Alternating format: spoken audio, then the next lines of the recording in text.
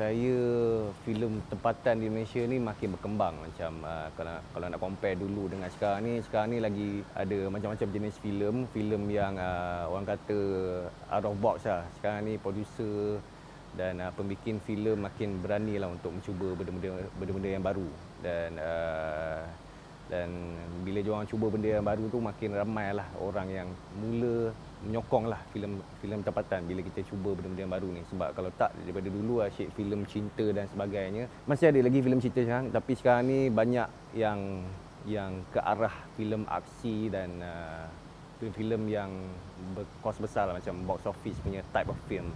Di sekarang ni bila tengok industri perfilman tempatan ni agak meriah lah compare compare dulu jadi untuk kita orang pelakon-pelakon kita orang pun makin makin makin apa semangatlah nak prepare diri kita orang untuk untuk offer filem yang mendatang ni.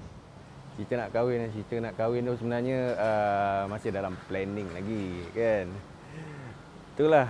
Sekarang ni ramai orang duk duk bertanya sebab ramai kawan-kawan dah berkahwin.